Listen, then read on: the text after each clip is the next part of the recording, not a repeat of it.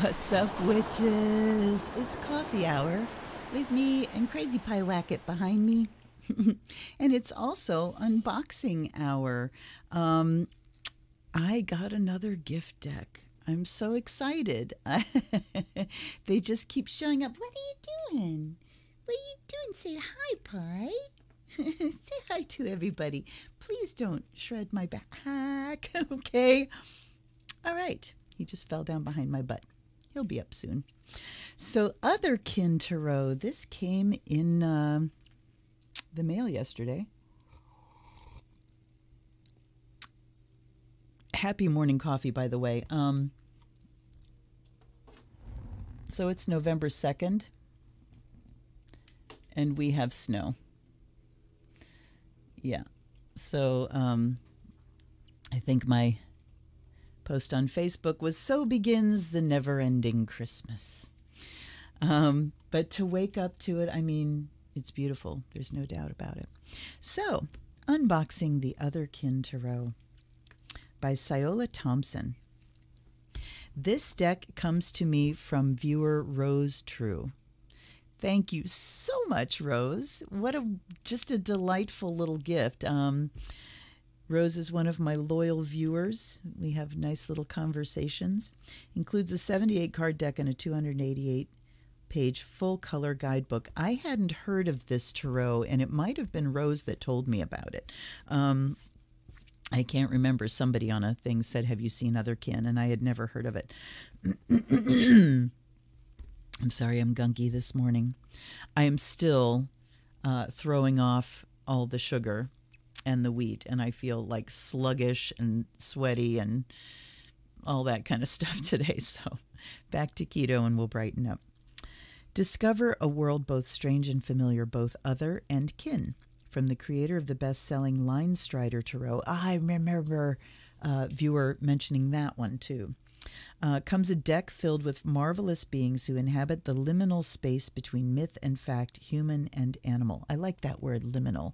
Liminal means on the edge, you know, that space between uh, one state and another. A lion with the body of a man sits on the emperor's throne. A sagacious owl acts as Hierophant, and frogs and foxes take on human garb. This Rider Waite Smith based deck and companion book brings Tarot's deep symbolism into new light through fanciful illustrations, originally created with hand ground natural pigments on handmade paper. Suitable for beginners or advanced practitioners, the Otherkin Tarot wants to travel and be left out in the moonlight. It's a deck that improves with every use. So, what a concept! Grinding your own pigments talk about magic. We've got a ribbon. We've got the, the snappy magnet box and a ribbon opening. Okay. And you know, I realize I never read the back of the actual book. 2019 is the copyright here. Let me see if it's the same as what's on the front. No, it's not. Let's read that too. Journey through a world of familiarity and strangeness where selkies cavort and mermaids and foxes and frogs wear human garb. Otherkin tarots full of incredible fusions and delightful adventure. Based on the Rider Waite Smith system, the deck is an easy entry to tarot for beginners or for the and for the more experienced. It reads with gentle humor and a trickster edge. Uh, nice. This gorgeous full color companion book explores not just the traditional meaning of each card, but also its archetypal underpinnings. Meeting the Otherkin reveals the incredible attention to detail found in both the major and minor arcana and it includes keywords and reverse meanings. As both illustrator and writer, Siolo Thompson provides unique insight into these amazing cards and shows you how they'll improve with every use. I hope I'm pronouncing her name right. and this is Llewellyn. Full color, full color, glossy, lovely, lovely book. And I love that they're telling us in the beginning that it's going to go very deep, that there's great attention to detail. So they've set up an expectation here. Cheers. Oh, God, there's nothing better than hot coffee on a chilly fall morning. All right. So, as you can see, I have not actually looked at this deck. Time to get out the, the deck opening wand and try to do it without damaging anything. Oh my God. See, this is why I don't do this part on camera. Because it's a battle.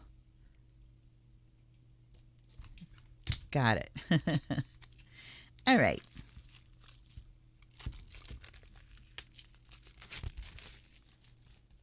Where'd you go, Pie Pie? Oh, goodness. See, he has the run of the house now, so I may have to persuade him. Here are the backs. And we see kind of a Rorschach mirror image thing of you see birds and wolf and stag. Lovely.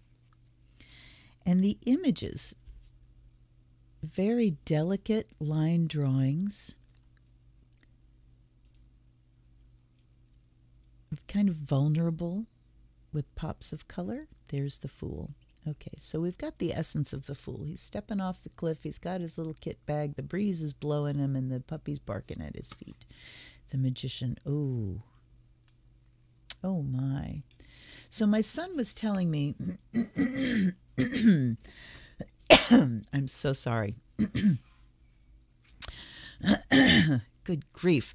My son was telling me about um, other kind that you know i don't know if you're familiar with like the furry community but there's the other kind community other kin who um, who acknowledge that uh, they've had past lives that were not human.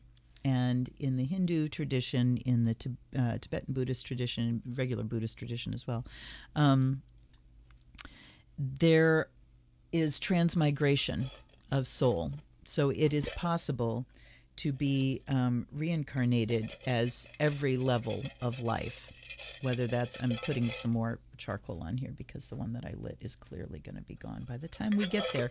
Um, so, this is memories of past lives as otherkin, as another kind of being.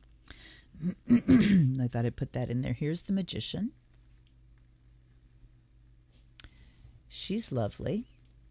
So we have the infinity, but we don't see representations of all of the elements. There's the wand for air, but we don't see the other ones.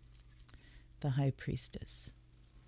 So right away, they've set up a lot of expectation about detail, and there's not a great amount of detail. There's a great delicacy. There's the empress. Oh no, that's the high priestess. Ah, I was thinking this was the magician, the, uh, the high priestess. That's the magician. This is the high priestess holding a lobster. Then we have our first other kind, other kin, bear mother, bare breasted bear mother. the emperor is the lion.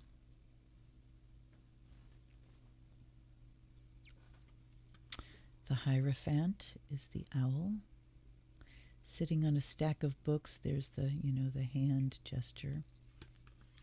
The lovers are, who are the lovers? The lovers are froggies and half froggies. The chariot.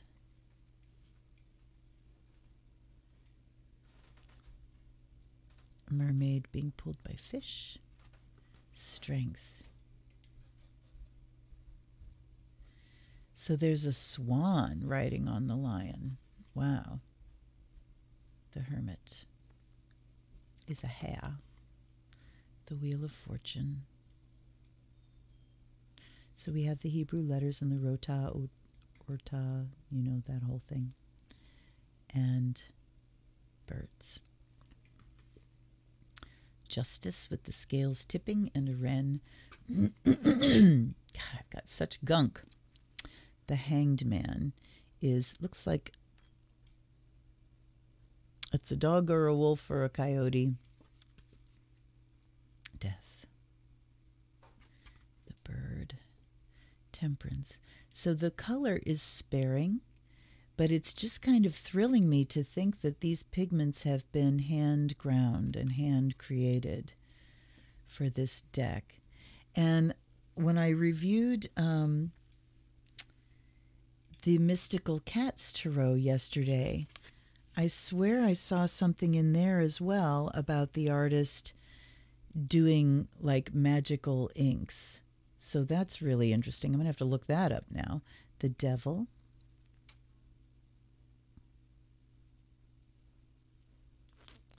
Got her kind of head down with a. That's a confusing image. I don't know. Oh, okay. So we've like a fawn. So we do have the fawn thing. The legs are a little odd. Hmm. Not sure what's going on there. The tower. So we have a burning tower rather than a stone crashing tower. The star is a hawk, a raptor, the moon, the sun with the bunny, judgment. Judgment, it looks like bear as well. There's an egg.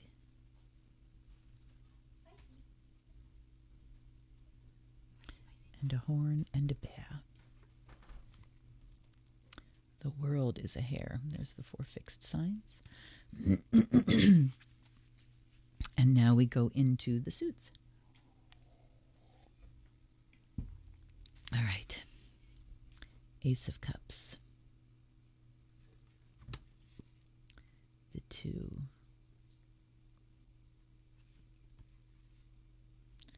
Three is otters. It's got to be otters. Yes.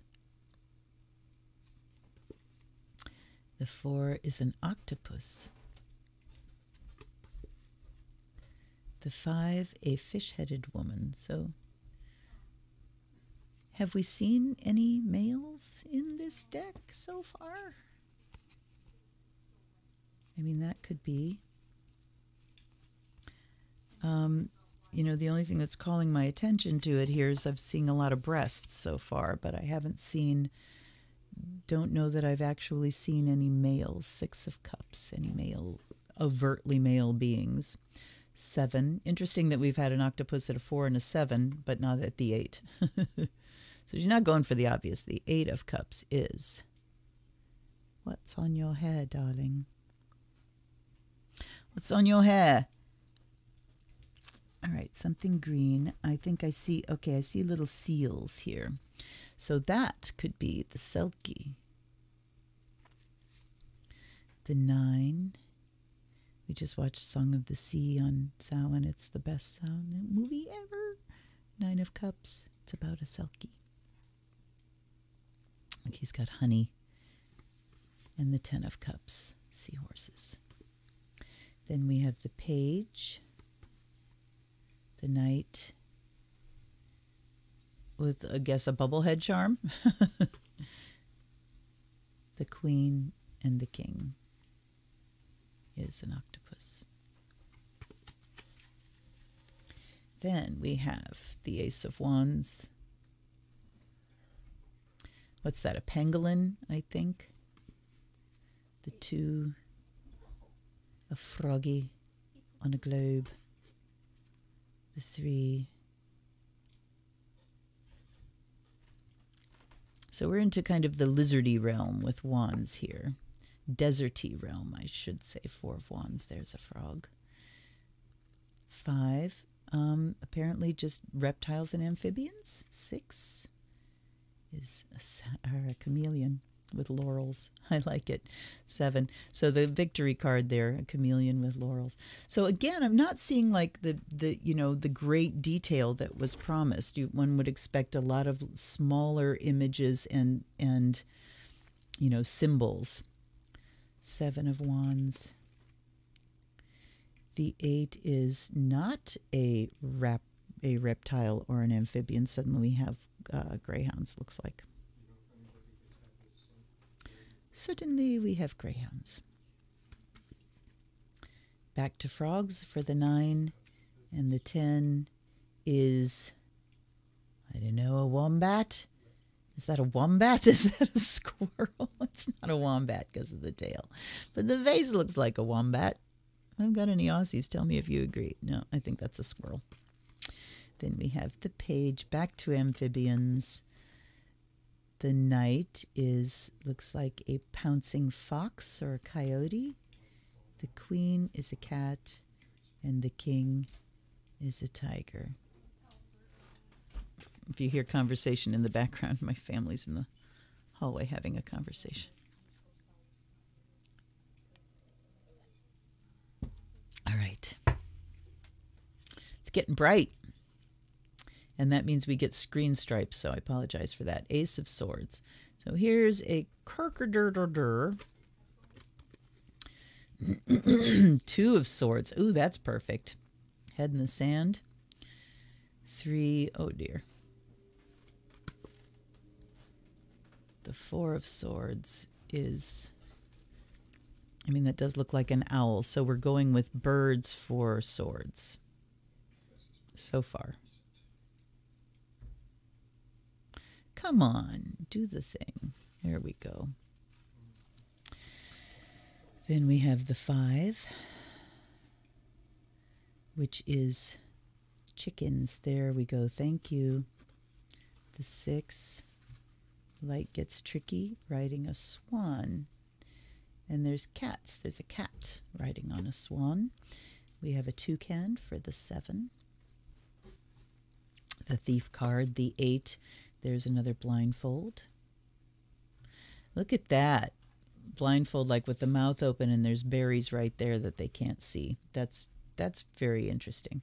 That's a good image. Nine of swords. Oh. Duck and cover. The ten is arrows and a peacock. Ah. Page.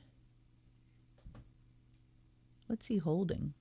Oh, a letter. He's holding a letter. Ah, there's a little detail with some information in it, huh? The knight, the queen, and the king is a pelican. And now we have the pentacles. And there's a fox. The two is a, a look like what? A marmoset, a little lemur. Three is bees. The four is and monkey. What's going on out there? Five of Pentacles.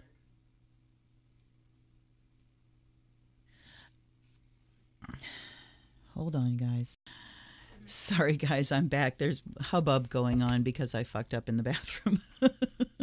I take my water bottle and I I put it up under the the faucet. It kind of you know parks at a tip, and um, I usually stand there until it's full. But this time I walked away, and when it filled up, it pushed water up through the thing and then down under the cupboard. So there's been a hubbub because there's a shit ton of water underneath my sink and my husband and son are fixing it. So that's what's going on back there.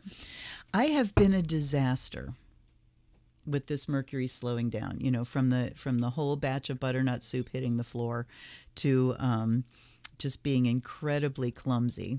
I'm I'm yeah, it's been bad. so my husband is cleaning up my messes as he does. So here's the five of pentacles out in the cold. Let's see where were we? Well, we had a monkey. We had a greedy monkey for four, and then we have a little mouse on crutches for the five of pentacles. The six is more mices. Seven. What is that? It looks like a little foxy, half foxy. Seven of Pentacles meaning harvest. I mean, he's got a little rake. The eight. He's got tools. The nine. Oh, we have a bird. we have a bare breasted woman with a bird head. And the ten. Oh, foxes. Lots of foxes.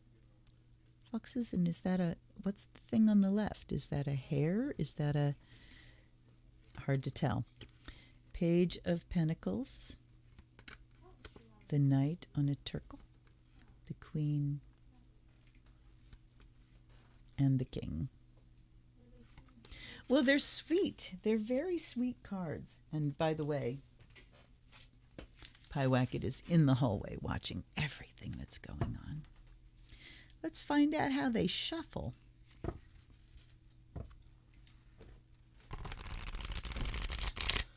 Perfectly. Thank you, Llewellyn. All right. Ancestors and allies, guides and guardians, come on in. Come on in and take off your skin and rattle around in your bones. How's that for a Samhain invocation? Speaking of other kin, you see my son's tail right there? He's got his fox thing on. So there's his tail. now, I offer you fire of Azrael and fresh water, and actually, I offer you hot coffee as well. And I offer you hot coffee. Take a breath with me for a second, you guys. It's a big day tomorrow. Tomorrow is election day. So let's pause for a minute, breathe, have some coffee. Take good care of yourself, you know, starting now. Radical self care, everybody.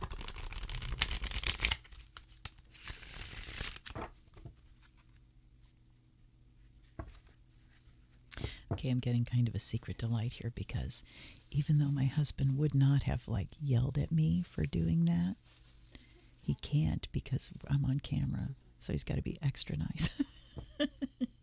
like I said, he wouldn't have yelled at me anyway. He would have just said, "Well, listen, next time don't, you know." But he did tell me that he's going to, you know, bust my kneecaps if I do it again. So Okay. Let's go to the book again full color glossy. It's a beautiful beautiful beautifully packaged beautifully presented deck. So we have uh, chapter one. There's an introduction. Chapter one is reading the cards short chapter. Then we have a chapter on the major arcana and then chapter three is the minors. And under each of the um, suits there's a little phrase the suit of cups we move upon the waters, the suit of wands of spark, flame, and ember, the suit of swords through air on wings of reason, and suit of pentacles from earth and gold. That's lovely. Okay. Welcome to the other kin. Here you will find a world that is both strange and familiar, both other and kin. We've probably read that. Something like that. Okay. Each of the 78 cards in this unique deck feature a being who inhabits. Okay, each of the 78 cards features a being, but they've put that clause in this unique deck and they've made the verb agree with in this unique deck. Um, and even 78 cards feature. Each of the 78 cards feature but it's the each, not the 78 cards. So you could say the 78 cards feature or each of the cards features. Oh, God, grammar. okay, grammar police, Mercury and Virgo, whoop whoop. All right. Um, a lion with the body of the man sits on the emperor's throne. Selkies cavort with mermaids, frogs, and foxes take on human garb, and a sagacious owl acts as hierophant. We read something like that before, so let's keep going. Using signifiers. A significator is a single card selected that represents the querent in their present state or the specific aspirations the querent may have. This card is used to center a reading and request specific information. So you can use a significator for um, the kind of question you're asking. Like if you're asking about a new creative venture, you could use the Ace of Wands as a significator. Um, if you're asking about a particular person, you can use the court cards as significators or, you know, find your court card that's your significator. Um, I find as far as picking a significator, I would rather see that card come up in the reading as a validation. Um, so, a lot of times, if I'm asking a very specific question, I will tell my deck what I want to see if I'm doing like a nine card and I'm asking this question and it's like, if this is blah, blah, blah, show me this card. Show me this. So that's one way you can use significators too in just programming your deck to um, here's what I need to see if it's going to be, you know, thus and so. Okay. For example, a teacher may choose the Hierophant, or an artist may immediately gravitate towards the Queen of Cups. Placing this in a central position can help the querent connect more strongly to the deck. Exaltation of aces. Exalting an ace is a practice that treats the aces as overall themes or mood signifiers. This is interesting. I've never heard of this. If you pull cards for a layout and discover an ace on reveal, move it to the side and pull a new card to replace the ace. Now, note the way in which the reading is flavored by the ace. An ace of pentacles will steer the reading toward the physical, material, or financial. The Ace of Swords will speak of the mind, clarity, and the realm of ideas. An Ace of Wands addresses action, creativity, and movement. The Ace of Cups will turn our attention to relationships, intuition, and spirituality. The specificity of this may help you be more prepared and able to deal with emerging challenges. Certainly, um, I like the idea of replacing the ace, but certainly aces are strong significators. When they show up, um, you know, one shows up in a reading, it's there's a new beginning. If two or more show up, then it's really something. And if I get all four aces, like in a full tableau Wheel of Fortune reading, the beginning has already started. Um, I also find it interesting when I have a reading that has like lots of nines and tens and aces, it says that there's still something that's wrapping up and culminating, but the new beginning has already started. Same deal if you've got a reading where everything is mid numbers, you know, threes, fours, fives. It just says uh, you're right smack in the middle of it. So I'm, I'm interested that she's brought up this uh, numerical um, idea here. Tower trumps all. The Tower is a powerful card, arguably the strongest in the deck. Interesting. Some readers believe that the Tower always exists in present tense and that regardless of where it shows up in a reading, the querent should prepare for implications in their current situation. If the Tower manifests in the past position, indicating a major life change in the past, for example, the loss of a loved one or an early success that altered your path, that Tower moment will always be with you even though it is behind you now. Yeah, the moment when life changed. I talk about um, certain cards that come up, and the Tower is one of them. The Judgment card is one of them. You know, so many cards in the major arcana are cards of change. I'll shoot a video just on that.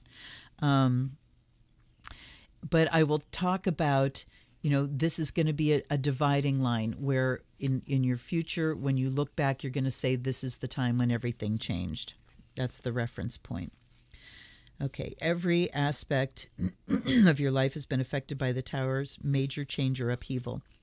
When you see a tower in a future position, you can be certain that big changes are underway, like a tidal wave that's miles out to sea but gradually roaring, rolling toward shore. Be it past, present, or future, you can seldom avoid the effects of this card, but can generally rely on the cards around the tower to offer clues about the aspects of your life most affected by this kind of big life event. Pentacles may indicate the fallout is financial. Cups indicate relationships that are at risk. There are many ways you can prepare for the tower if you see it coming and ways to deal with the damage from past tower events. Reversed reading, you can read the reverses. They're entirely optional. Throwing the cards, a few card layouts. So we have a three card past, present, future, context, focus, outcome. I also like situation, action, outcome. Five card spread is present, potential. Okay, the question, the present, the potential, past, present, future, like that. I think we'll go for the five card spread for you, Roze. And now we see the full. All right, so there's a color image of the card. There are keywords idealism, adventures, innocence, decision, spontaneity, risk taking, naivete, open mindedness. And then we just have a full description here. So she goes into the full description and then at the end in reverse. So there's it's it's broken down into keywords, but it's not like chunked down. So there's a lot of information. All right. Then let's look back to the minors. Here we have the Ace of Cups. The suit of cups, we move upon the water. So there's a section that describes the suit. And then same thing, keywords and just a big uh, section of writing with the section of reverse kind of separated off. Sometimes, not always. Okay. And then at the back, when we get to the end of the Pentacles, there's my my little note from Roze sending her peace and blessings, which I send back to you at least threefold. All right. So I'm going to read uh, the conclusion at the end here. The creation of the Otherkin Tarot deck was a labor of love, and I hope it comes across with each card. Thank you for allowing my work to be a small part of your journey. May it help you along the way or at least provide some entertainment. Okay, we're a tribe. I appreciate you. Happy reading, all that. Let's get on to the reading. Come on, Roze. Let's go. All right. So, this in particular, I am asking for a reading specifically for Roze Tru, my dear gifter and viewer. How, uh, well, I'm just going to throw it open. What is the message you have for her today? They're telling me they don't want to be shuffled that way anymore. They're telling me go. Not even cut. They're telling me go. Um, okay, that's the way we go. So we have I want to see the order that we lay them out in because I don't think they said. Na na na na na. Okay. I generally favor putting a card above the central. Okay, easy layout. It's a little more fleshed out than the three card number of ways you can arrange, though I generally favor putting a card for the present or even a significator card in the central position and setting the cards up in the shape of a cross. So we get to decide. I'm going to go um, present, and then we're going to go up, down, left, right. Okay. She doesn't give you the order. I'm going to scoot that back a little bit. All right.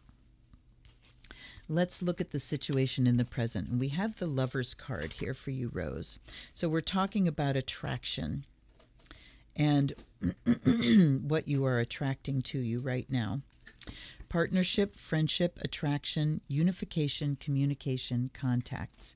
So the Lover's card says that you are um, in receive mode, that things are coming to you, and you're in in the mode of drawing to you, attracting to you what it is that you need.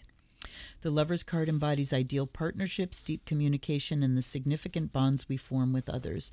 Many people interpret this card as romantic, and it certainly has that aspect, but it's also emblematic of other kinds of relationships in which there's a high degree of mutual respect, trust, and commitment. These are the bonds and commitments that enable our progress and help us reach our goals. The lovers pictured here are holding an egg, a symbol of new life, new ideas, and the fruit that these deep, sincere relationships tend to produce. When we are fully committed to a partnership, we are channeling the energy of the lovers. That kind of commitment can be a powerful tool in our personal journey. In business work and financial readings, this card urges us to find our place not just within a business or industry, but within a system that is profoundly aligned to our own values and beliefs. And I'm reading this whole one for this first card so you can get an idea of the writing of this deck, but I will not read this whole thing for every single one. Um, okay, uh, whether you love animals, state parks, or speculative fiction, let your passion be your guide. This card can also indicate strong professional partnerships. Okay, so this is where your love attracts to you.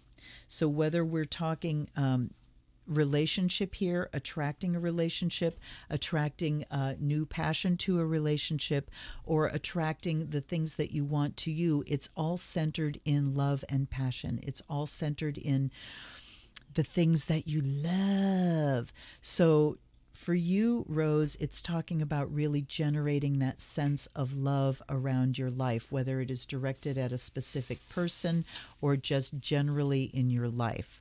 That is what attracts to you. There is nothing more attractive. You've heard me say this before. there is nothing more attractive. My there goes my husband taking the trash down, and Pie is blocking his way. Pie Wacket, bye bye. He ain't doing it anyway. Um, there is nothing more attractive from the outside than someone who is passionately engaged in their life and in love with their life and in love with themselves. There's nothing more attractive. So, that attraction principle. Now, let's go for um, I guess let's go in the order we put them down. The highest, what's above. Let me see what they, how they describe that position again. Potential. above is the card representing the potential or the potential outcome. Okay, Queen of Swords.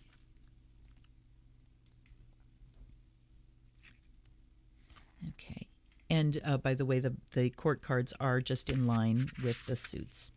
The keywords are fairness, good judgment, intelligence, independence, insight, and reliability. So, intelligent, analytical, trustworthy, clear minded, not clouded by sentiment. Stern can be critical, judgmental, and harsh, but she's a great ally, a natural leader. you would want in your crew during a zombie apocalypse. It's like Scorpios. I want Scorpios around during a crisis. Um, struggles with compassion and can be very critical, but it's hard to suffer fools when you're as smart as she is. All right, in professional reading, keen intellect, critical abilities are most in demand. So we're talking about being centered in what you love and your passion, but then bringing your critical mind to it. To really bring um, things to fruition, you've got to bring your intelligence your copious intelligence and your great ideas and your clear mindedness and your discernment and your critical thinking. Okay, so we're not going to get all caught up in just the love and the fun of the thing. To take it to its potential, we're going to be very discerning and um, think it out and have a plan. All right, the one down below is the question. Um, favorite putting a card and setting the cards above to the left. The bottom is what I call the question. It can also be seen as the card that helps examine your motivations. I wish that she put these more in order. You know, I think I'm going to have to go through this particular reading because I like the categories, but in a way that, um, you know, maybe reading the question card is a good thing in the beginning. Here's the foundation of it and then the potential. But we'll see. Okay, see how it all shakes out. We have the Page of Wands, another court down here. So the question of the foundation or the motivation, new ideas, motivation, energy, youth, loyalty. So the foundation is that I've got ideas. I've got ideas and I need to get them out. So, um, this is kind of the raw energy of creativity and inspiration. And then we kind of fall in love with the idea. And then we've got to make a plan and decide this part will work, that part won't work. List making, plan making, storyboarding, you know, whatever it is to flesh out your idea and make it workable. All right. And I splash coffee all over the place. I have a drinking problem. Okay, the past influences, the right is the future elements or where the situation is heading. Past influences. We have the Eight of Swords. so, past influences were times when we didn't think this was for us. I didn't think I could do it. I didn't think I had the resources. I didn't think I was smart enough. I didn't think I'd finish. Okay. Restrictions, self deception, denial, negative thinking, isolation. Shows a blindfolded bird with his foot stuck in a net. Ooh, I missed the net. He cries out, agonized in panic, though the net is barely touching his foot and the blindfold is only loosely covering his eyes. This card's message is of feeling trapped, limited, and unable to see a way out. You may be refusing to see how your actions are creating or exacerbating exacerbating problematic situations. All right. But this is in the past. So this is saying how were you in denial in the past? Okay, in financial and business. So I like that she separates. She talks about kind of in general, personally, and then she goes down in work, financial and business dealings. So I like that she does that can indicate problems that are causing limitations or impeding your growth. There is a way forward. So, in the past, you have shortchanged yourself. Either you've had an illusion about um, how good your idea was, you've discounted it, you haven't um, counted in resources and skills that you have. Um, so, a lot of self limiting beliefs in the past. Now let's see where things are going in the future. Knight of Swords. We've got a lot of swords here.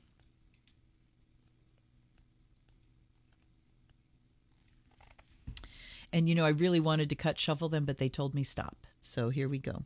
Strength, intelligence, keenness, lack of compassion, judgment, conflict. So here, both times, we've got that vibe of the court cards of swords not being emotional, being intellectual rather than emotional.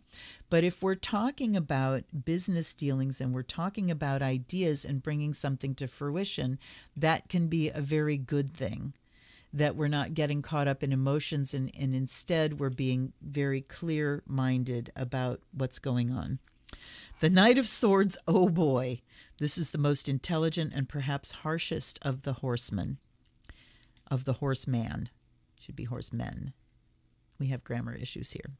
He has vision, strength, and an intellectual approach to the world. Full of new energy and the ability to lead, this card can be a fantastic omen for folks heading into difficult situations or leadership roles. This knight urges you not to let emotion cloud your vision. Keep your goals in clear sight and drive relentlessly toward victory. That said, you risk alienating everyone if you open if you operate entirely without compassion toward others. Focus on facts, numbers, and your aspirations, but try not to run roughshod over the hearts and ideas of others. Apt for this knight, he rides a raptor steed.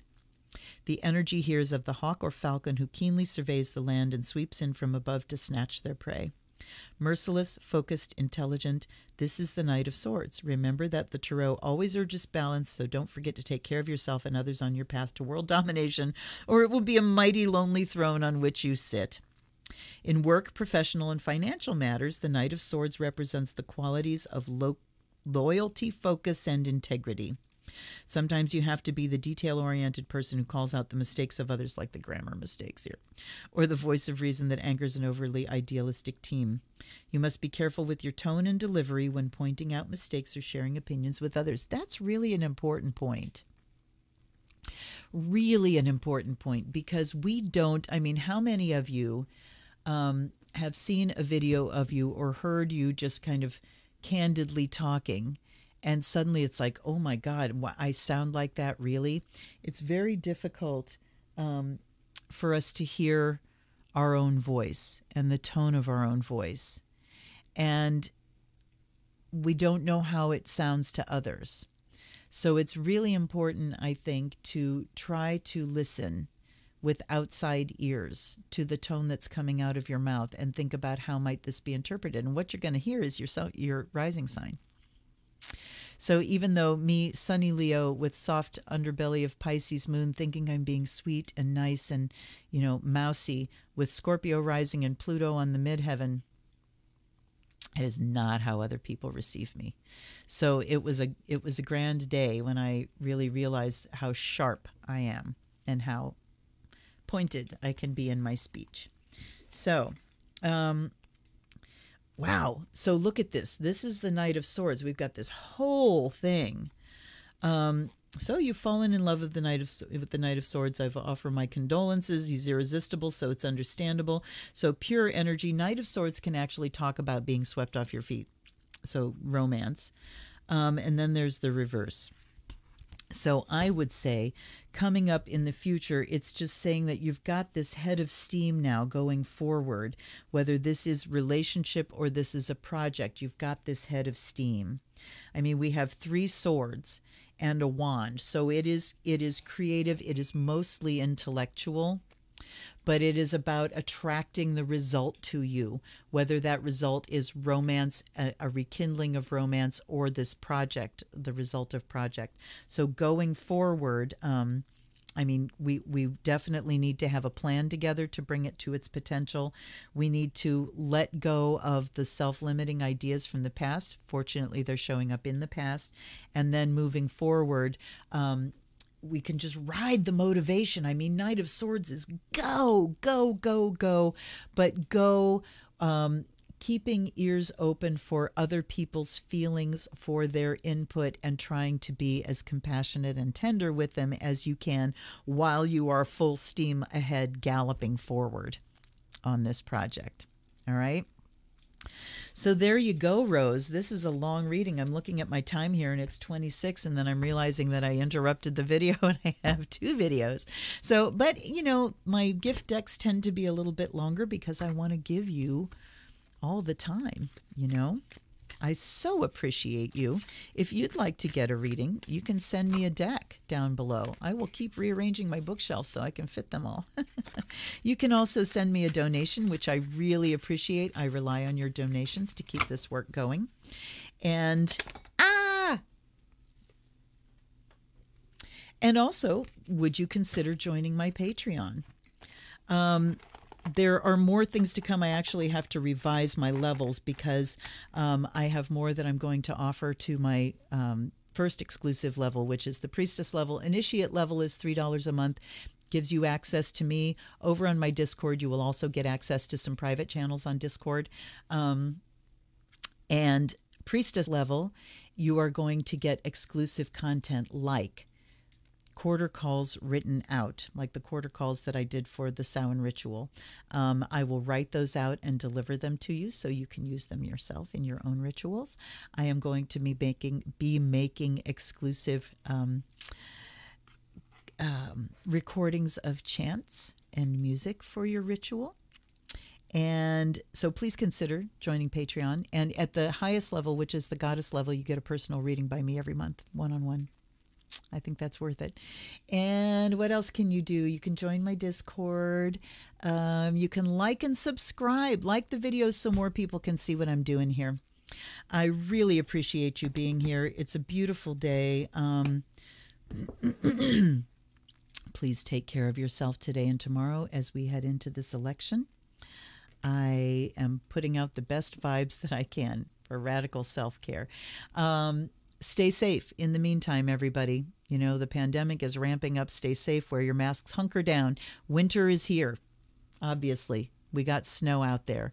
So we have the best excuse ever to stay at home and bake bread and do all the things that we did in the spring, but now we got skills. So I will see you tomorrow for another unboxing. Thanks for hanging out with me. Um, until then, this is the Zen Witch. Blessed be everybody.